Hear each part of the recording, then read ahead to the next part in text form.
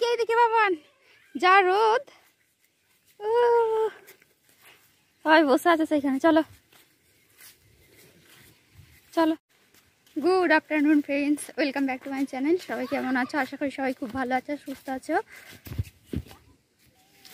আর আমি ভালো নেই, কারণ আমি মানে বাড়িতে ঝামেলা হয়েছে, আর চলে এসেছি মামা বাড়ি এসেছি।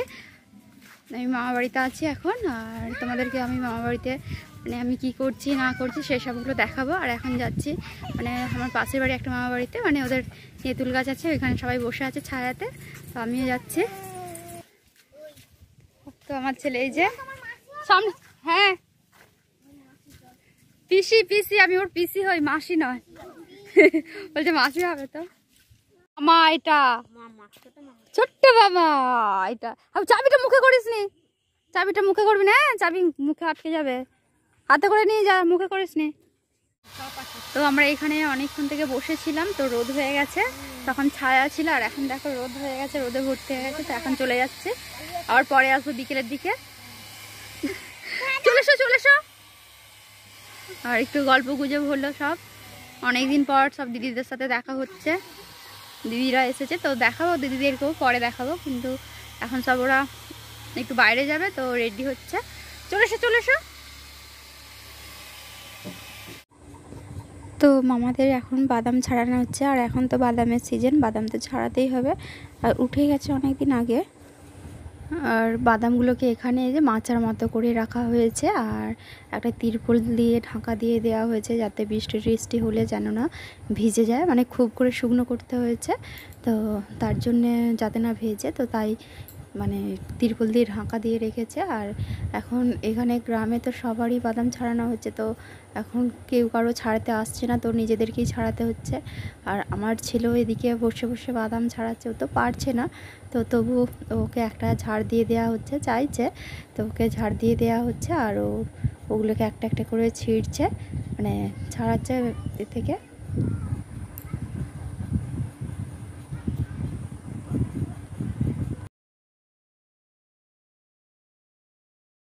সব বসছিল তো। আর তারা সব যে যার ধরেছে আর নিয়ে গিয়েছে আর ও আর ভয় কেন? জুজু? জুজু চলে আসে? কেন জুজু চলে আসে? বই পড়বে তাহলে জিজু আসবে। হ্যাঁ। এখানে আবার বেশি জুজু আছে না বই পড়লে তো? জুজু চলে আসবে। প্রচুর। এখানে বেশি জুজু আছে দাদাদের বাড়িতে। না। আমার ছেলে বাদাম ছিঁড়ছে দেখো। একটা একটা করে বাদাম ছিঁড়েছে দুটো ঝাড় ছিঁড়ে ছাড়িয়েছে এইভাবে।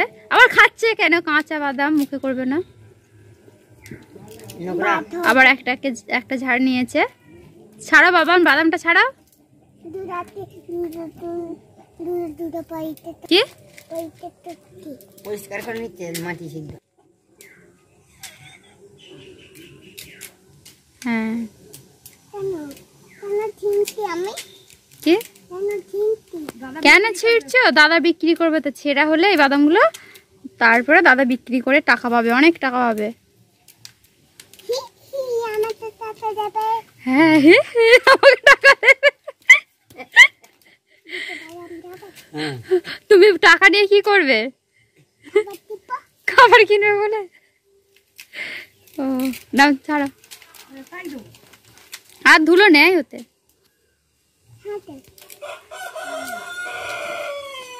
তোমার দাদি উঠে বসে?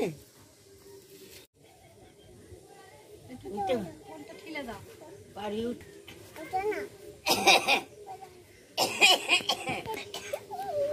আমার ছেলে পেয়ারা খাবে বলে মামা গাছে উঠেছে পেয়ারা পাড়তে। আর নিজে থেকে আমার ছেলে শুধু মামাকে বলছে পেয়ারা পারো উঠে পারো উঠে পারো তো গাছে পেয়ারা অনেক হয়েছে কিন্তু পেয়ারাতে পোকা বেশি। তো কাঁচা টাইপের দেখে দিতে হবে। কাঁচাগুলো পোকা নেই যেগুলো একটু বেশি পেকে গেছে পোকা হয়ে গেছে। এই পেয়ারাগুলো খেতে খুব মিষ্টি হয়। বেশি বড় হয় না মাঝারি সাইজের হয় কিন্তু খুব মিষ্টি হয়। এই দিকে একটা আছে এই দিকটা লোক আয় করে পারতে হবে হাত যাবে না ওই যে দেখা যাচ্ছে। কাঁচাগুলি দাও। কাঁচাটাই ভালো হবে। এই যে কাঁচা এগুলো।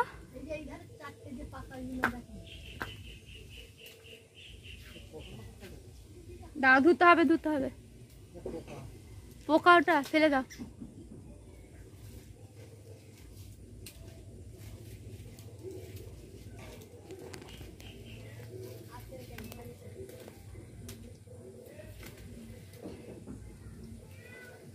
পেয়ারায় ভর্তি হয়ে গেছে কিন্তু পোকা গাছটা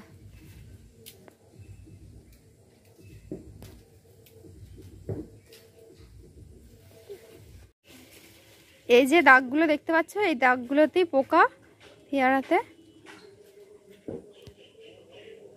এই দাগগুলোতেই পেয়ারা, এই পোকা, এই পেয়ারাগুলোতে। দেখতে সুন্দর লাগছে, কিন্তু ভিতরে পোকায় ভর্তি। তো মামাদের বাদাম ছাড়ানো হয়ে গেছে। ছাড়ানো বলতে সবগুলো হয়নি, অর্ধেকগুলো ছাড়িয়েছে। এগুলো আগে থেকে ছাড়িয়ে রেখেছিল, টুকটুক করে ছাড়াচ্ছে তো। তো তাই বাদাম মাপা হচ্ছে, আর মহাজন এসেছে বাদাম মাপতে। তো এগুলো মেপে এখন রেখে যাবে, পরে নিয়ে যাবে। কারণ এখানে গ্রামের সঙ্গে সঙ্গে বাদাম নিয়ে যায় না। মেপে রেখে যায়, দু একদিন পর নিয়ে যায়। কারণ মানে অনেকের মাপা হলে তো একটা গাড়ি ভরতে হলে তবে নিয়ে যায়। তো সবার মিলিয়ে একসাথে নিয়ে যায়। তো তাই এখন নিয়ে যাবে না, এখানে মেপে রেখে চলে যাবে। আর বাদামের প্রচুর ধুলো উঠছে তোমরা দেখতেই পাচ্ছ কত ধুলো উঠছে বাদামে তো প্রচুর ধুলো হয়, তো তাই প্রচুর ধুলো হচ্ছে আর বাদামটা এখন সব মাপা হয়ে গেছে। আর এখন সেলাই করে নেবে, সেলাই করেই রেখে যাবে কারণ খোলা রেখে গেলে ছড়িয়ে দেওয়ার ভয় থাকে। তো তাই ছড়িয়ে দেওয়া ছেড়ে মানে সেলাই করতেই হয়।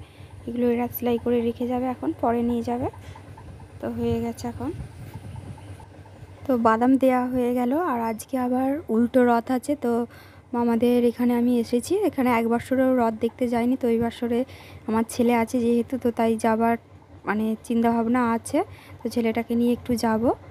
আর কি বলো তো মানে এখানে অনেক দিন থেকেই রথ হয় মানে আমার বিয়ের আগে থেকে আমি যাইনি, এই প্রথম যাব এখানে। তো আজকে আমাদের এখানে যে জগন্নাথ দেবের মানে রথ টানা হচ্ছে মানে মাসির বাড়ি থেকে বাবির বাড়ি আসছে, আর আমিও এসেছি দেখতে, আমার ছেলেকেও নিয়ে এসেছি? ভালো আছে মাসি? ভালো আছো? আমি কালকে আসছি গো। কালকে হ্যাঁ। ভুটান কোথায় নিয়ে গেল ওকে? ভুটানের কাছে ওই তো দেখছি যে কোথায় নিয়ে গেল।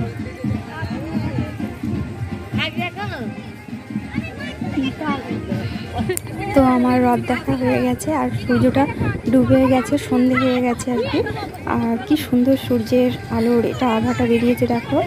আর আমাদের এই ভিডিওটা কেমন লাগল তুমি অবশ্যই কমেন্ট করে জানাবে।